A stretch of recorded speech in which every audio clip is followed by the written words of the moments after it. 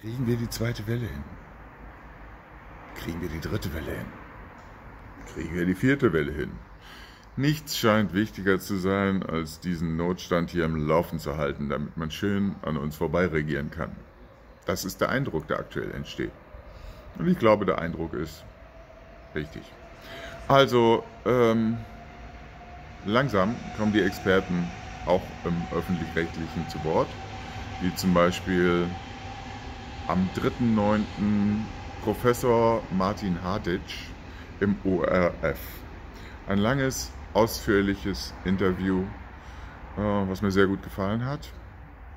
Und es bestätigt einfach nur das, was ich hier die ganze Zeit sage. Die Corona-Maßnahmen hätten schon seit Monaten komplett eingestellt werden können. Ihre Kinder mit anderen Kindern spielen, beliebige Familientreffen hätten stattfinden können, die Schulen könnten normal geöffnet werden. Es ist alles völlig unkompliziert.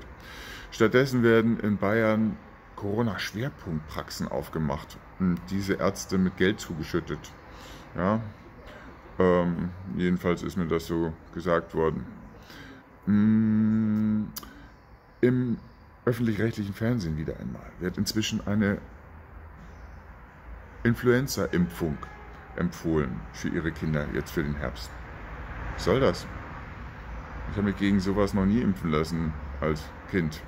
Ja, völlig überflüssig. Es ist sogar gefährlich. Impfungen haben Nebenwirkungen und ähm, das ist gut abzuwägen. Sie haben unter anderem auch die Nebenwirkung, dass äh, vielleicht diese Kinder ein paar Tage später schon wieder in der Praxis erscheinen müssen, weil sie plötzlich irgendwie komische Symptome haben. Und was wird dann passieren? Dann werden sie einen Corona-Abstrich machen und was dabei herauskommt, wissen sie ja schon. Zweite Welle, dritte Welle, vierte Welle und so weiter und so fort. Ähm, Leute, ihr müsst was tun. Ihr müsst kritischer werden. Ihr müsst eure Nachbarn informieren. Ihr müsst die Menschen aufklären. Nochmal zur Empfehlung. 3.9.